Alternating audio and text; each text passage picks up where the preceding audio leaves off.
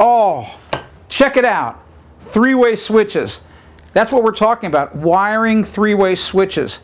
Hi, I'm Tim Carter, and first I want to let you know a little safety note. We're working with high voltage electric, the same thing that you have in your own home. Whenever you work with electricity, make sure it's turned off. I don't want you to get electrocuted. Three-way switches can be found in many homes and they're very useful. They allow you to control a light or maybe several lights from two different locations. But the problem is they look a lot different than a regular switch. A three-way switch has got three screws, count them, one, two, and three, plus the green grounding screw. But this black screw right here, that's the really important one that we need to pay attention to. A regular single pole switch has just got two screws on it and the green grounding screw. You can see how it's very different from a three-way switch. That's where the trouble begins. That third wire can cause three-way switches not to work properly if you put the wires on the wrong screws. I've built this little demonstration of three-way switches in my garden shed so you can see how they work. You'll never find two three-way switches this close together in real life, but here's how they work. Look down here, you'll find this yellow wire. This is where the power comes into the first three-way switch. Now notice there's a white wire that's a little thicker that leaves this switch, goes over and drops down into the second switch box. And look what happens.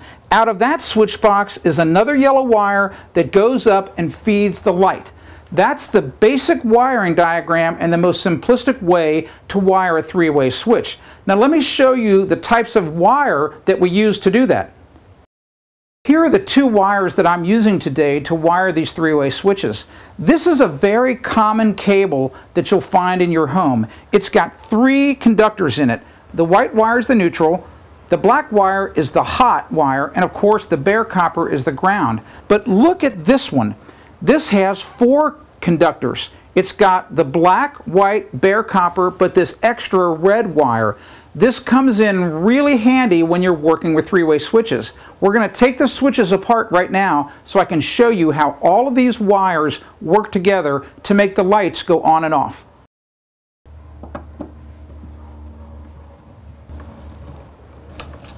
Oh, look at this jumble of wires in here. I know you're confused, but look how simple this really is. Remember, this yellow wire has got a black wire, which is the hot. That's the one that's coming from your service panel. It's got a white wire, that's the neutral, and of course it's got the bare copper wire. And this white wire had the same three wires, plus it had a red wire. Now look how they all actually hook up. The white wires, the neutral wires, they need to just be wire nutted together because that's sending the neutral directly up to the light bulb. That's what you want it to do. The only wires that need to connect to the three-way switch are the black wires and that red wire. Now the ground wire, same thing. The ground wires are just twisted together and of course one of the wires attaches to the ground screw on the actual three-way switch.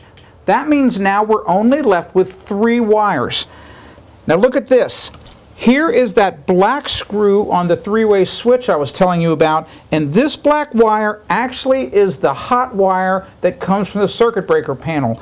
It connects to the black screw, and the black and red wire that are in this white wire that goes between the two three-way switches, you can hook them to either one of the brass screws on the three-way switch. It doesn't make any difference at all. Now let's go look at the other switch so we can see how that one's wired.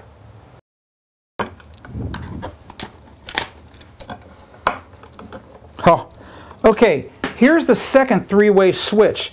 I'm going to pull it apart and I'm going to show you the wires in this one and you're going to find out something very amazing. It looks identical to the first three-way switch. Check this out. Here are the two black wires and the red wire and of course the grounding wires, and then back in here are the other two neutrals that were wire nutted together. So what's happening? We've got power that's eventually going to come in through this white wire, and it's going to come into either the red wire or the black wire, and then it's going to leave the top of the switch through this black wire, which is actually inside the yellow one, and go right up to the light to make it work. It's that simple. So let's look at this switch one more time. Okay, here is the second three-way switch.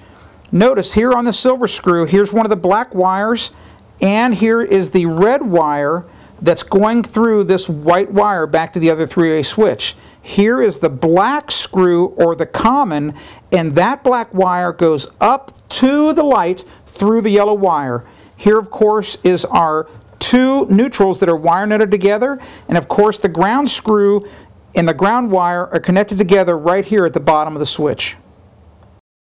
You probably feel like a master electrician now that you've understood three-way switches. Remember, keep the power off at your home. Let's summarize very quickly. The black screw on the three-way switches only connect the wire from the panel, the hot wire, to it, or the wire that goes up to the light. The other two brass screws, you hook the travelers to it. Those were the black and the red wire in my example, or in your case, it just might be two black wires in your electric boxes. Be safe. I'm Tim Carter for AskTheBuilder.com.